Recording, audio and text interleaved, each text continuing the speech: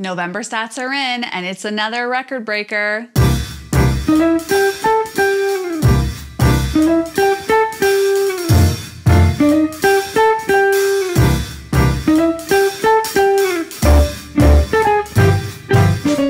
I'm Shaleni Henriquez with Remax Real Estate Center, and your time is valuable. So, over the next minute or so, we're going to go over all of the stats that happened in the Milton real estate market November 2020. November stats are in, and the best way to describe what happened in the Milton real estate market in November is Another one. That's right. It's another one. Another record breaking month in Milton real estate. In November, Milton's average home price across all home types was $921,143. That's a whopping 17% increase over home sales in November 2019. Our average year to date home price is also up, with Milton homes averaging $854,350. That's a 14% increase over the year to date average from 2019. Home sales are also up. There were 207 home sales in November 2020 versus the 156 that happened in November 2019. Year to date, home sales are up 7.6%. New listings are still down, albeit modestly over last year. We've had 3,043 new listings year to date,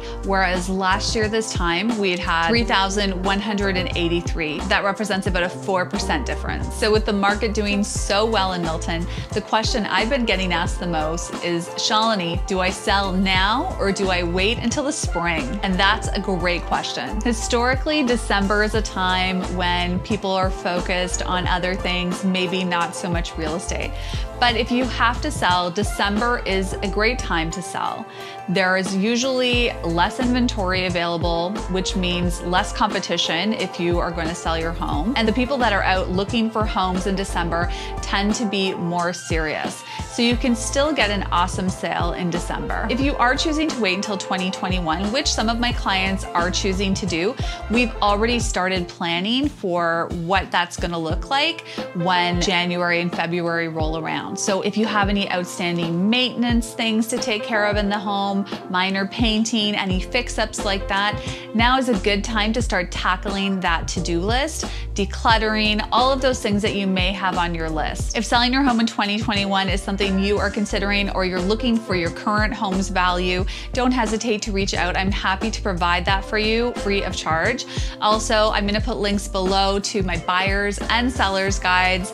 They're full of comprehensive information that will help you when you're making a decision or if you're just in the pre-planning stages. If you're curious about what it's like to live in Milton, I'm gonna put a link to a video about my top five reasons why you may wanna consider Milton as your next home. Thank you so much for watching and we'll talk to you soon.